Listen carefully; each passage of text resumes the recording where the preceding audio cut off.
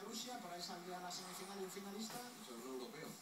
Y por el otro lado, ¿os mojáis o no? Evidentemente Ucrania ya está, Ucrania se va a enfrentar al vencedor del